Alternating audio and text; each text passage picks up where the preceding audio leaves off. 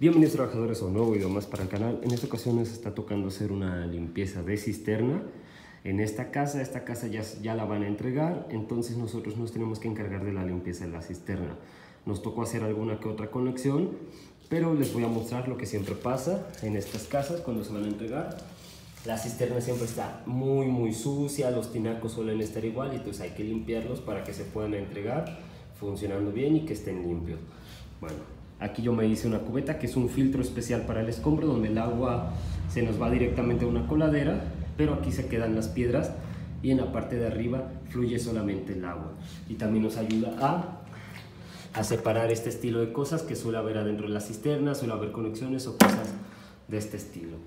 ¿Cómo funciona? Yo eh, lleno esa cubeta y esa cubeta la echo aquí y toda esa agua fluye y el escombro se queda en el área de abajo, así como alguna pieza importante que llegue a estar en la cisterna.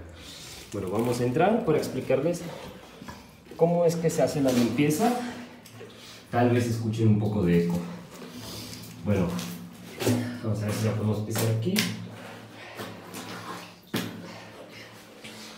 Ok, aquí está nuestra cubeta, ya, ya está así, como pueden ver ya solo es escombro lo que, te, lo que tiene esta cisterna, vean ahí hay otra conexión tirada, es lo que les digo que se salga. Bueno, para hacer la limpieza de nuestra cisterna, lo que tenemos que hacer, tenemos que sacar lo más que se pueda de agua con la línea de la bomba, ¿ok?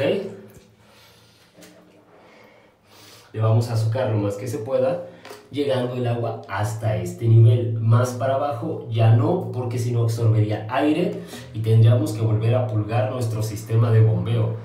Entonces vamos a dejar que el agua baje hasta esta línea, mucho antes de nuestra válvula check o pichancha check, que se quede como por aquí el agua para que ella no trague aire, ¿ok? Una vez estando ahí, apagamos nuestra bomba y vamos a empezar a sacar el agua restante con una cubeta y un pequeño bote yo esa agua la voy sacando y la voy colocando en esta cubeta. Bueno, voy a continuar con la limpieza. Tenemos que sacarle, como les digo, todo el agua. Con esto tenemos que dejarla completamente sin agua y vamos a empezar después a sacar el escombro. Terminando de sacar el agua, les muestro cómo es que se saca el escombro. Y bueno, trabajadores, ya terminamos por fin de sacar todo el agua. Como pueden ver, eso es minoría, pero ya podemos pisar y caminar adentro de la cisterna sin ningún problema. Pero me hago para acá para que no escuchen eco. Vamos a empezar ahora en esta cubeta, en una cubeta, a sacar todo, todo el escombro. Esta cisterna está muy sucia, la de ustedes no creo que esté así de sucia. Como les digo, esto es normal en estas cuando se van a entregar ya, que hay que hacer limpieza porque pues se va todo. Vamos a sacar ya lo que es la basura. Voy a enseñar un poco lejos para que vean qué tan sucia está. Voy a sacar todo, todo esto. ¿Esto con qué lo podemos sacar? Yo les recomiendo que lo saquen con algún recogedor plástico y una escoba limpia. La escoba de preferencia tiene que ser nueva para estas cisternas.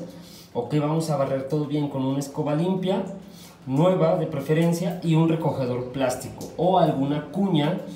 Y si ya tienes más experiencia en esto, pues ya lo podrás hacer con alguna pala pequeña, metálica porque tenemos que tener mucho cuidado de no perforar la cisterna al hacer la limpieza para que quede así de limpiecita como ahí se ve, ¿ok? Voy a empezar a echar todo el escombro ahí. Yo utilizaré una pala mini, es una pala muy pequeña.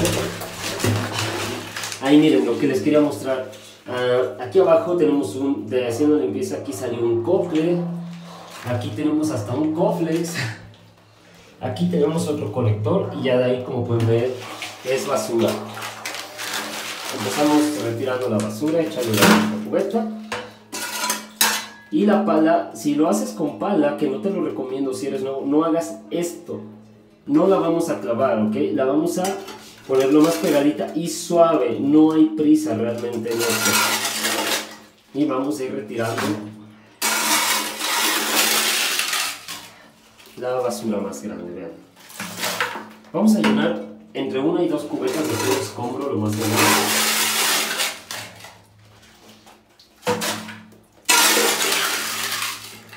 Vean, tiene hasta un vaso. La ventaja de esta cisterna es que nunca se ha utilizado para llenar tinacos ni nada, va a ser su primera vez, entonces no hay tanto problema con todo lo que tenga aquí. Preocúpate si tu cisterna que estás utilizando para subir agua tiene vasos y así de basura.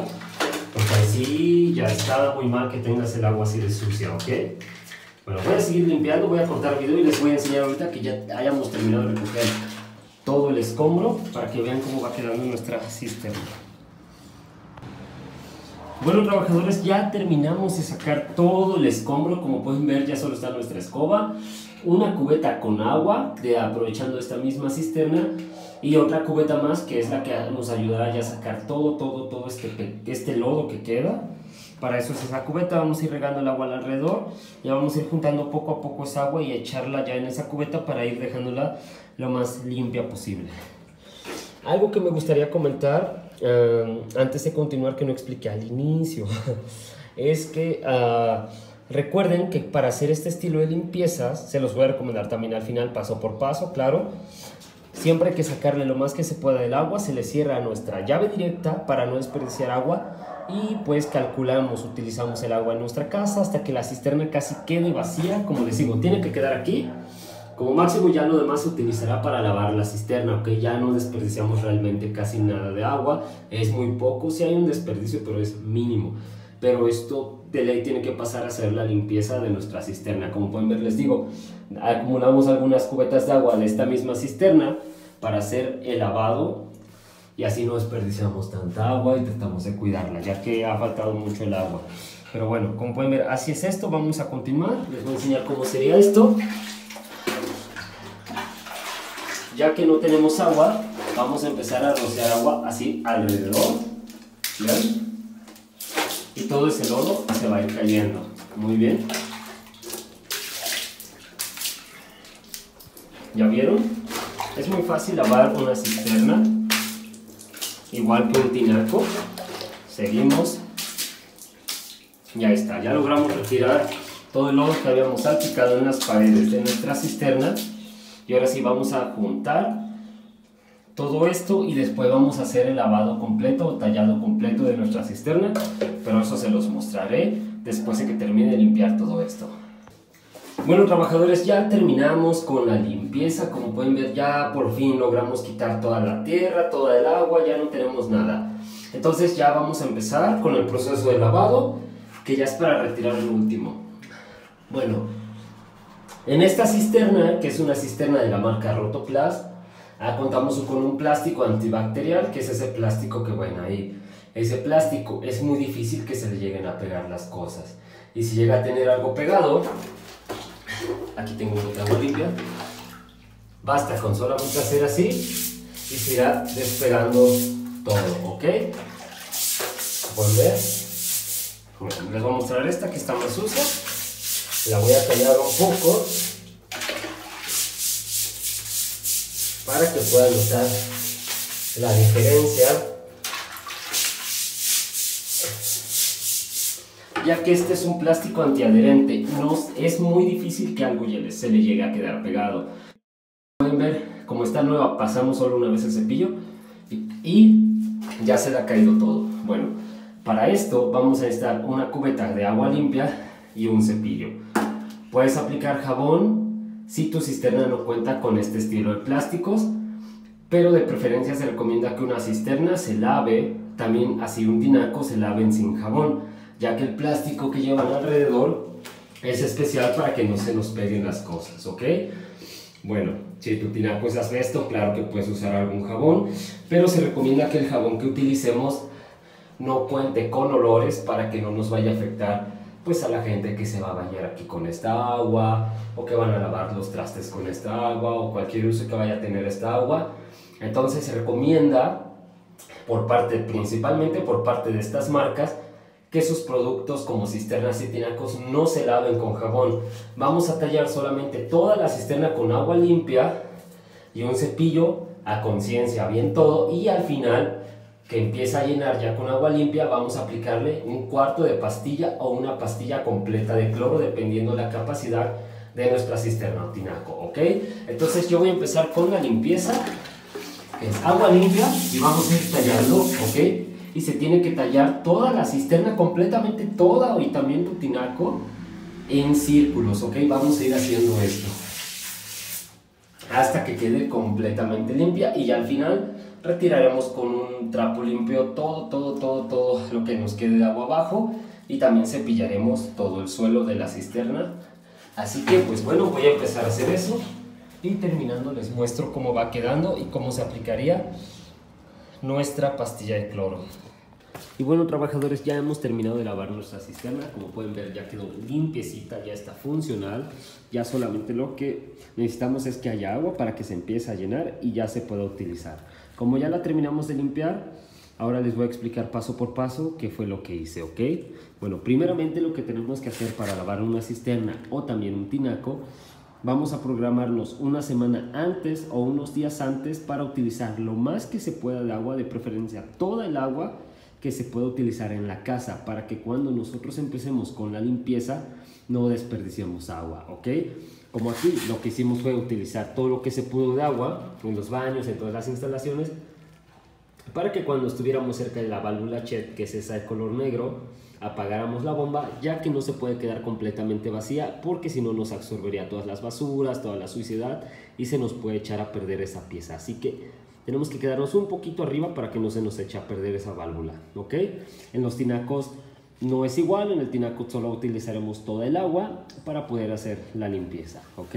Bueno, esta poca agua que nos queda la juntaremos en cubetas y la iremos retirando y nos servirá después para enjuagar toda nuestra cisterna, hacerle lavado y no desperdiciar casi nada de agua, ¿ok? Estas cisternas principalmente la marca que está instalada aquí, que es una de la marca Rotoplas, cuentan con un plástico antiadherente. Solo que este plástico, que quiere decir que no se le quedan pegado por lo regular casi nada y no provoca bacterias. Digo que casi nada, como pueden ver ahí, cuando se caen clavos y se queda mucho tiempo ahí los clavos, o llega a tener por muchos años tierra, polvo, lodo, ah, pues se queda en una esquina y hay veces que se nos mancha este plástico y aunque tallemos no se puede retirar. Recuerden que para lavarlas no se recomienda utilizar ningún jabón, se recomienda que solo sea con un cepillo y agua limpia para que esta cisterna no quede con olores extraños, no quede perfumada y si llegas a utilizar jabón que sea algún jabón que no cuente con ningún olor, ¿ok? Esto es para que no nos provoque en un futuro que pues la gente se va a lavar los dientes, se va a lavar las manos o se va a bañar y el agua tenga algún olor, algún jabón. Entonces se recomienda que solamente se enjuague o se cepille bien y después enjuagar con agua limpia, pero no utilicemos nada de jabón, ¿ok? Y una vez terminando de hacer esto, se le aplique una pastilla de cloro, que es lo más recomendable, ya que ella se encargará de eliminar todas las bacterias y todo lo que tengamos, ¿ok? Ya que terminamos, le aplicamos la pastilla de cloro. Esta pastilla de cloro, por ahí cayó, ok, no la veo, pero por ahí cayó. Esa pastilla de cloro que le estoy echando funciona para limpiar 1200 litros. Esta cisterna que ven aquí es de 5000 litros. No necesito aplicarle otra pastilla más, ya que como los tinacos están nuevos, la cisterna está nueva, con una pastilla es más que suficiente ya que realmente estaba limpia, lo único que tenía era escombro y lo que ustedes se van a topar en sus casas es que va a tener tierra por ahí, pero no va a tener cosas más fuertes. A menos que tuvieras un caso muy pesado que nos llega a veces a tocar, que en los tinacos hay palomas muertas o estilo de cosas, ahí sí les recomiendo hacer una muy buena limpieza con cloro, con, con jabón, para que pues, pueda uno eliminar todo eso. Pero como pueden ver, es muy fácil el, sistema de... Bueno, es muy fácil la limpieza de las cisternas. La verdad que espero que este video les haya ayudado y esperemos ya regrese el agua de la calle para que se pueda llenar y podemos empezar a utilizarla. Pues bueno, trabajadores, este fue el video de hoy y como les digo, la verdad que espero esto les funcione y nos vemos hasta la próxima.